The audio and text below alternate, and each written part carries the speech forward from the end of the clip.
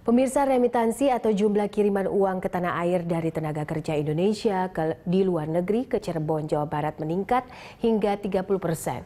Perputaran pengiriman uang di kantor pos kota Cirebon selama bulan Ramadan ini mencapai 62 miliar rupiah. Transaksi pengiriman uang tenaga kerja Indonesia ke kota Cirebon, Jawa Barat mengalami peningkatan menjelang lebaran. Pada hari biasa, transaksi remitansi di kantor pos kota Cirebon hanya melayani 10.000 transaksi, namun jelang berakhirnya bulan Ramadan naik menjadi 13.000 transaksi.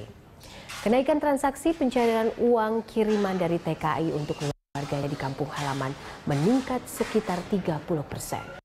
Pengiriman uang yang bersumber dari para TKI ini didominasi oleh WNI yang bekerja di Timur Tengah seperti Arab Saudi, Kuwait, Uni Emirat Arab, dan juga Jordania.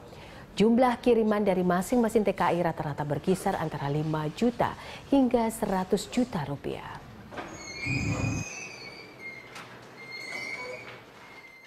Kalau perputaran uangnya berarti kan uh, sebelumnya itu kan uh, sekitar 62 miliar ya, 62 miliar ya. De, de, berarti kan ada peningkatan 30 persen itu dari 62 miliar itu didominasi TKI mana aja Bu yang mengirim?